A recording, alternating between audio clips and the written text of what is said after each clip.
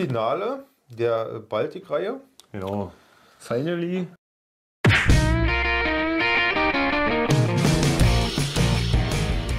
Es gab Höhen und Tiefen, mehr Tiefen als Höhen. Im Prinzip war es ja ein, ein Köpper Schöne Talfahrt war das. ja, vom Allerfeinsten. Das war hier Bauchklatscher, hat auch ganz schön wehgetan, zumindest der Leber. Ja. Und am Ende gab es doch mal noch einen Lichtblick. Am Ende des Tunnels war doch wirklich Licht. Äh, ja, die ist jetzt ganz schön zerruppt. Naja, wenn man nicht weiß, wie es aufgeht. äh, Wir waren so aufgeregt, beide. Ja. Äh, wie man hier sieht, ist das hier so ingesteckt, ne? Und wenn das hier halt so drin ist, dann kann man das an den Seiten öffnen. Man muss bloß ein bisschen so rausziehen und dann kriegt man das schon auf. Aber halt für die äh, nervösen, wilden oder durstigen äh, sieht das dann so aus. Ja. Hier steht das noch schön drin.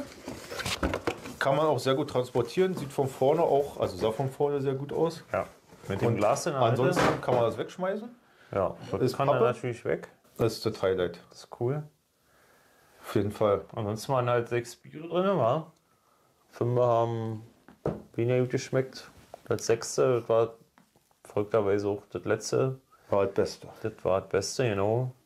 Das Baltic Goes. Wir hatten Bronze, einmal, viermal Blech und einmal Silber. Genau. Hat uns absolut überrascht, hat uns auch äh, gut mitgenommen. Ja, mich hat es auch gut mitgenommen. Also ich bin auch echt froh, dass ich da jetzt durch bin. Was würdest du dem Ganzen ähm, geben? Vier von fünf Sterne? Drei von fünf Sterne? Ich sag mal so, ich würde dem Rundum-Paket äh, eine 3 von 5 geben, beziehungsweise eine 3,5 von 5. Na, ist hier nie. Halbe Sterne gibt es hier nie. Also dem Paket eine 3 von 5. Also die Highlights sind auf jeden Fall das Glas und diese Baltic Goes. Ja. Und dass das so geil verpackt ist und hinten auf der ähm, Verpackung nochmal alles drauf ist. Drei von fünf Sterne hat es schon verdient.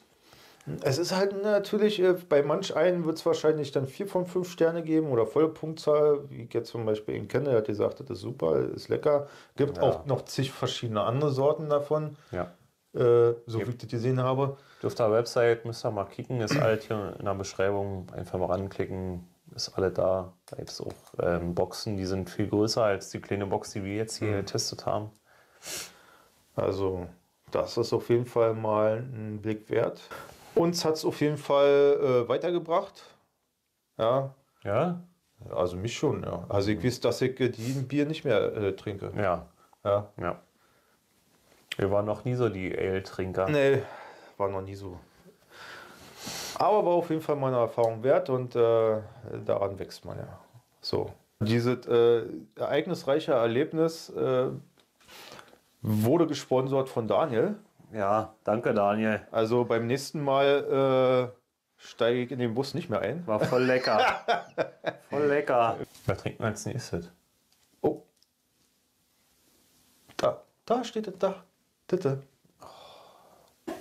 Das nächste Mal Achso, Per. gibt es das Hackab Shore. Hell. Bayerisch hell. Gut. Also bis dahin, seid gespannt. Wir lassen uns überraschen. Und bis zum nächsten Mal. Haut rein.